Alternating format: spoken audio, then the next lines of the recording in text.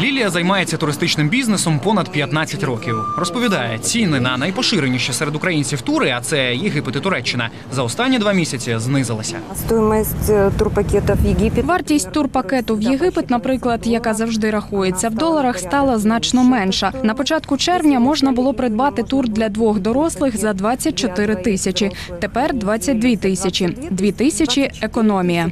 Зараз курс в обмінниках коливається від 25 гривень 25 копійок за долар до 26 гривень. Очільниця міністерства фінансів Оксана Маркарова раніше розповідала, зміцнення гривні мало зупинитися на позначці 26-27 гривень за долар. А той курс, який ви бачите зараз, може свідчити про недбалість керівників Нацбанку. Тепер у прес-службі Мінфіну на запитання про здешевшення долара нам відповіли таке.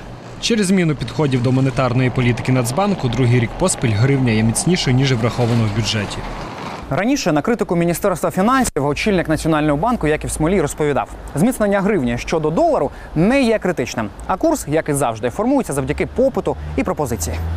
Сезонне зміцнення гривні відбувається кожного року. Цьогоріч воно більше, але не суттєво, розповідає Сергій Фурса, фінансовий аналітик, який працює в одній з найбільших інвестиційних компаній України. Падіння долара пов'язано з тим, що іноземці стали активніше купувати українські цінні папери. Додатково вливаються долари на валютний ринок, яких до цього не було, і створює дисбаланс, що призводить до більшого укріплення гривні. І це нормально. Це не добре, ні погано, це нормально. Розповідає Сергій Фурса і про курс, на який варто очікувати після сезонного падіння гривні. Гривня буде слабшати.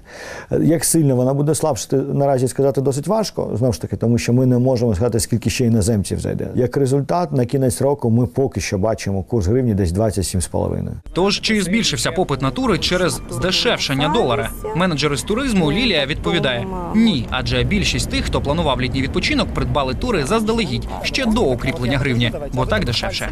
Олексій Гомон, Ігор Якубчик. Новини на Суспільному.